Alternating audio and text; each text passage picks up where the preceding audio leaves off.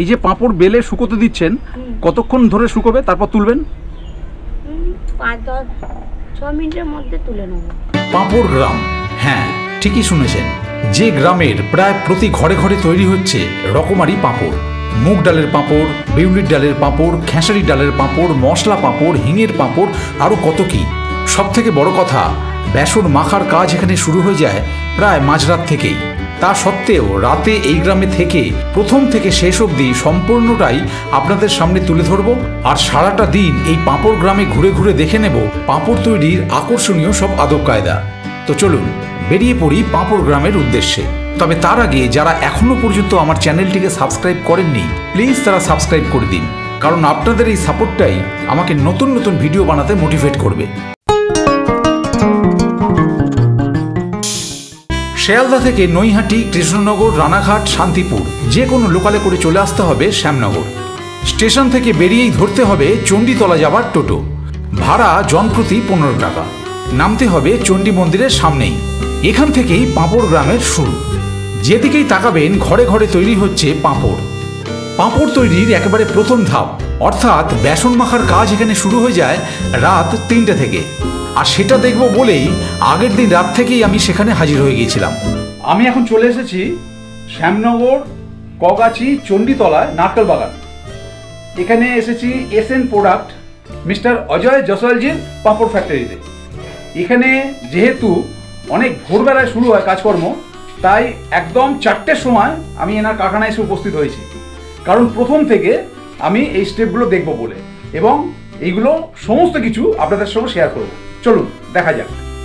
যেহেতু বেসন হলো পাঁপড় তৈরির প্রধান উপকরণ, তাই দেখলাম বিভিন্ন ডালের বেসন বস্তা বস্তা মজুত করা রয়েছে। এছাড়া আগের দিন রাতে জলের সাথে খার, লবণ, খাবার সোডা এবং হিং মিশিয়ে একটা পাত্রে মিশ্রণ তৈরি করে রাখা থাকে, যেটার রং সাদা দুধের মতো। মেশিনের মধ্যে বেসন দেবার পর পরিমাণ মতো এই সাদা মিশ্রণ ঢেলে দেওয়া হয়। তারপর বেশ খানিকক্ষণ ধরে চলতে থাকে এই মিশ্রণ প্রক্রিয়া। এক একবারে কুড়ি কিলো বেসন একসাথে মাখানো হয়। মিশ্রণ প্রক্রিয়া চলাকালীন পাঁপড়ের প্রকারভেদ অনুযায়ী তার মধ্যে দিয়ে দেওয়া হয় কালো জিরে, গোলমরিচ ইত্যাদি। মিশ্রণ প্রক্রিয়া সম্পূর্ণ হলে মেশিনের সাহায্যেই সম্পূর্ণ মাখাটা ওপরের দিকে উঠিয়ে নেওয়া হয়। তারপর ছুরির সাহায্যে কেটে কেটে বা হাতে করে সম্পূর্ণ মাখাটা নিচে নামানো হয়। মেশিনে প্রচুর পরিমাণে লেগে থাকা মিশ্রণটাও ছুরি দিয়ে খুব ভালো করে চেঁচে পরিষ্কার করে বের করে নেওয়া হয়। মেশিনে মাখা হয়ে গেলে সেখান থেকে নামানোর পর হাতে করেও আবার একটু ঠেসে নেওয়া হয়। এসব দেখতে দেখতে কখন যে সকাল হয়ে গেছে টেরই পায়নি আর সকাল হতেই বেলনদাররা হাজির। যারা পাঁপড় বেলেন, তাদের বেলনদার বলা হয়। যারা যত পরিমাণ পাঁপড় বেলতে পারবেন, সেই অনুযায়ী মাল ওজন করে ওনাদের দেওয়া শুরু হয়। একজন একজন করে গ্রামের প্রচুর মহিলারা সকালবেলায় এসে এই মাল নিয়ে যান। আর হ্যাঁ দেখলাম এই বেসন মাখার সঙ্গে একটা শিশি করে খানিকটা করে সোয়াবিন তেলও দেওয়া হচ্ছে যেটা পাঁপড় বেলার সময় ওনাদের কাজে লাগবে।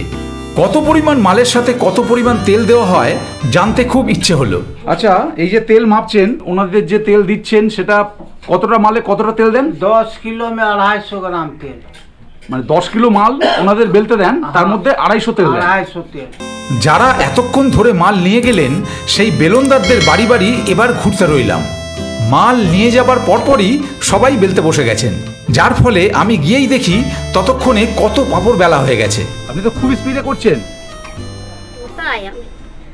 আজ আমি একটা অ্যাপ্লিকেশনের ব্যাপারে আপনাদের সঙ্গে কথা বলব। যার নাম হলো ওয়ান এক্সবেট বন্ধুরা আপনারা সকলেই জানেন যে আজকাল বিভিন্ন রকম স্পোর্টস এবং গেম থেকে অনেকে বেটিং করে অনেক টাকা কামাচ্ছেন। আর আপনারাও যদি এই টাকা কামাতে চান, তাহলে এই অ্যাপ্লিকেশনটি আপনাদের জন্য। বন্ধুরা, এই অ্যাপটিতে কখনো কখনো রিস্ক ফ্রি অফার পাওয়া যায়, যেখানে পনেরোশো টাকা পর্যন্ত আপনারা নিরাপদে বেটিং করতে পারবেন। যেখানে আপনারা হেরে গেলেও পনেরোশো টাকা আপনার ফেরত পেয়ে যাবেন। আমার সাবস্ক্রাইবারদের জন্য একটা খুব ভালো অফার আছে। আপনারা যদি দশ হাজার টাকা জমা করেন, তাহলে আমাদের এই প্রোমো কোড থেকে একশো তিরিশ শতাংশ পর্যন্ত বোনাস পেয়ে যাবেন। বন্ধুরা এই অ্যাপ্লিকেশনটি এফসি বার্সেলোনা এবং বড় বড় কোম্পানির সাথে পার্টনারশিপে আছে। তো বন্ধুরা এক্ষুনি ডেসক্রিপশন বক্সে দেওয়া লিঙ্ক থেকে ডাউনলোড করুন এবং রেজিস্টার করে ফেলুন। দিদি আপনি একদিনে কত কিলো মাল বেলেন দশ কিলো সারাদিনে? কতক্ষণ লাগে মোটামুটি? আর সকাল আটটা সাড়ে আটটা বসেন। সাতটা থেকে বারোটার মধ্যে আপনার দশ কিলো মাল বেলা হয়ে যায়। কেজিতে কত টাকা করে পান বেলে? না এটা তো ছ টাকা করে দেয় এক কিলোতে। আচ্ছা। আর বিউলির ডালেরটা সাত টাকা করে। দিদি কটার সময় বেলতে বসেছেন? এই আটটা থেকে। আটটা থেকে কটা অবধি বেলেন আপনি? হ্যাঁ, বিকাল তিনটে দুটো। কত কিলো বেলেন? কুড়ি কিলো পঁচিশ কিলো। চাকরির সাইজে বেলে চারধারটা কেটে ফেলে দিয়ে পাঁপড় বের করে নেওয়া হয়।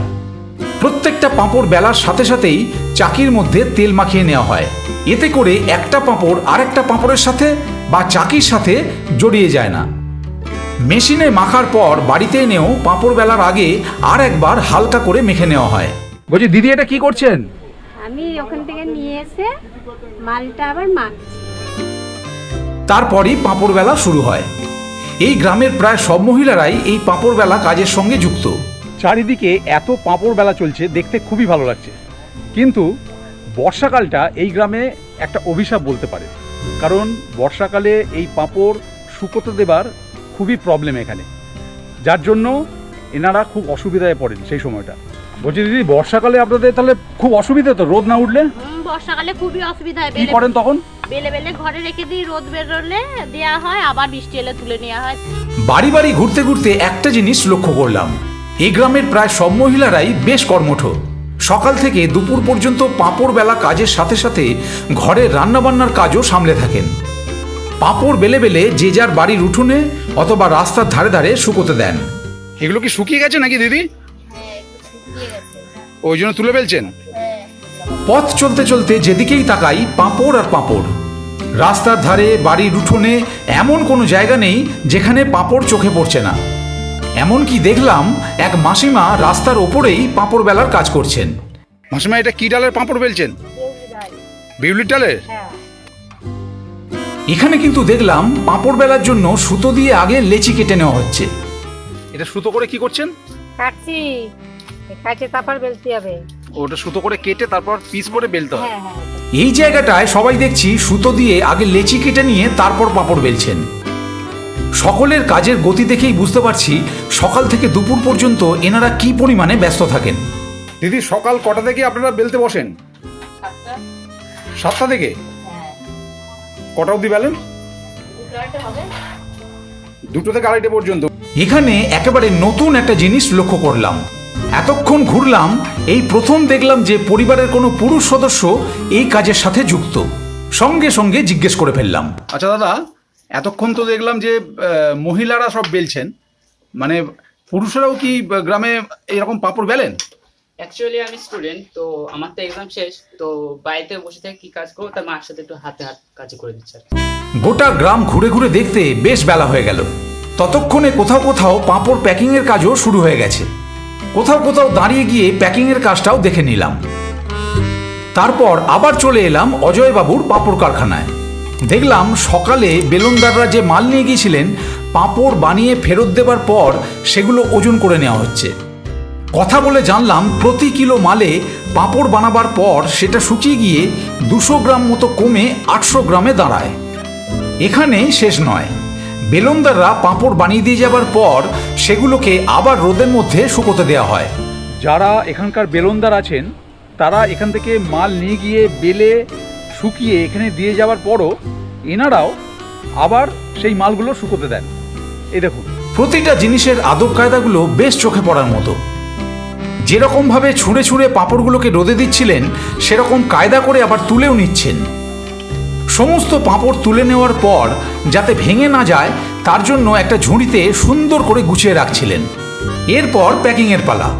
পাঁপড় ওজন করে করে লেবেল দিয়ে প্যাকিং করা হয়। আমি দাদা নমস্কার। অজয় জয়সওয়াল, এশিয়ান প্রোডাক্টে কর্মধর। আমি পাঁপড়ে ম্যানুফ্যাকচারিং করি হ্যাঁ হোলসেলার পাঁপড়ে তৈরি করি। যিনার হোলসেলার নেবার থাকে উনি সম্পর্ক দাদা ভিডিওতে করবেন। লিজা পাঁপড় আছে, সাদা মশলা একশো, দুশো, পাঁচশো, সবই লিজা পাঁপড় তৈরি হয়। একশো কুড়ি টাকা কিলো। তারপরে গোকুল পাঁপড় আমার দুশো গ্রাম হয়। মশলা সাদা একশো টাকা কিলো। সুরজ পাঁপড় এক কেজি করে মেলামাল একশো কুড়ি টাকা কিলো। জিনার নেবার হবে। আপনি সম্পর্ক, দাদা ভিডিও থেকে মোবাইল নাম্বার দেওয়া থাকে সম্পর্ক। আজ সারাদিন এই পাঁপড় গ্রামে ঘুরে বেশ ভালো লাগল। অভিজ্ঞতার ভাণ্ডার আরও একটু পূর্ণ করে বিকাল পাঁচটা নাগাদ বাড়ির পথে রওনা হলাম।